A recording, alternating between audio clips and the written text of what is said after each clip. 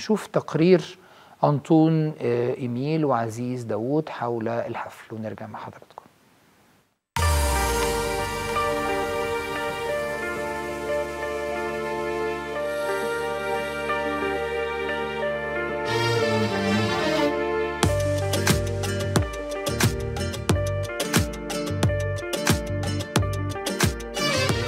أنا أتذكر أحد الأقوال لأحد الآباء حينما قال أعطني أطفال العالم أجعل العالم كله مسيحيا.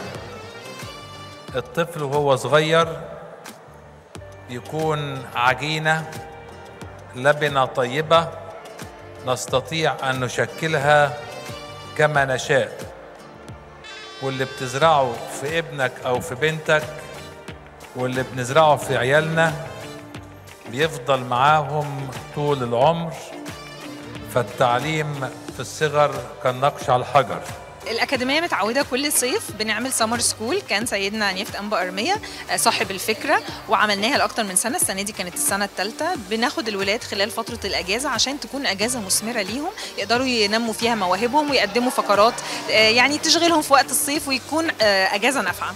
الأولاد السنة دي الحقيقة أبهرونا زي كل سنة. قدموا فقرات كتيرة قوي. كل حاجة اتعلموها. يمكن أخدوا طقس عقيدة كتاب مقدس ال summer school السنة دي كان بعنوان أبطال واتعلمنا كتير عن إزاي ابطال كنيستنا قدروا انهم يحموا الايمان الارثوذكسي السليم وازاي ده دورنا إحنا كمان من وإحنا صغيرين نحافظ على الايمان ده ونورثه للاجيال الجاية. إحنا في ال summer school دايما بننتهز الفرصة إن إحنا نعلمهم إشارات آه، حياتية إزاي يقدر يتعامل مع الشخص الأصم لو شافه في الأتوبيس لو شافه في الشارع لو شافه في المدرسة علشان يؤمن إنه الشخص الأصم زيه وزيه هما الاثنين زي بعض.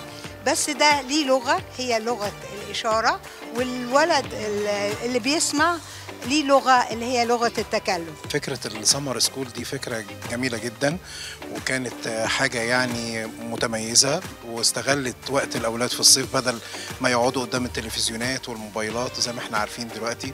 آه، فكان حاجة جميلة جدا. كمان كان في تنوعها يعني كان أنشطة وحاجات فنية ومسرح.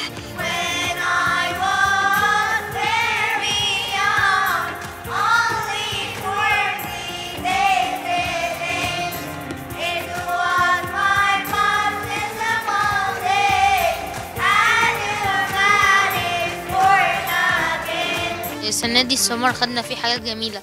آه، خدنا فيه English وخدنا فيه عربي آه، وخدنا فيه مثلا science إن إحنا نعمل تجارب.